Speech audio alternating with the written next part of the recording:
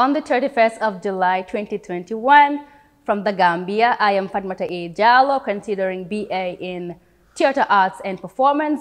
I'll be doing two contrasting monologues, one from For Colored Girls that I've considered going in for suicide by Ntozake Shange, and then um, Flowers in the Desert, Beauty and Perfection from D.M. Larson.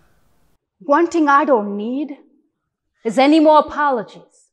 Because I got sorry greeting me at my front door. You can keep yours. I don't know what to do with them. They don't bring the sun back or open doors. They don't make me happy or bring a morning paper. Did nobody stop using my tears to wash cars cause I'm sorry. I am simply tired of collecting. I didn't know it was so important to you. I'm gonna have to throw some of that away because I can't get to the clothes in my closet for all of the sorries. So I'm gonna have to dock a tag at my door and leave a message by my phone. If you ever call to say you're sorry, call somebody else because I don't use them anymore. I'll let you sorry. Didn't mentor. How could I know about that? Take a walk down a dark and musty street in Brooklyn. I'm to do exactly what I got to do. And I'm not to be sorry for none of it. Let your sorry suit yourself. I'm to suit mine. I loved you on purpose.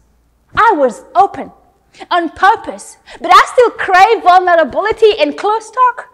And I'm not going to be sorry for you being sorry.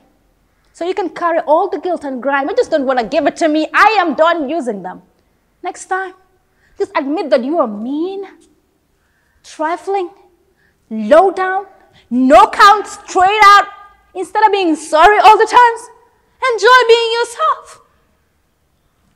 Beauty and perfection. That's what you are, Miss Shelley.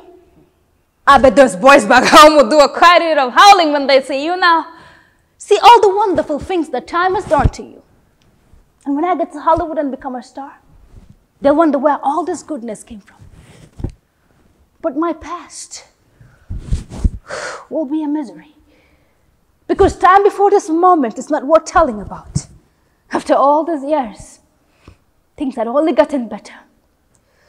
Actually, I bet being born is the biggest letdown of all.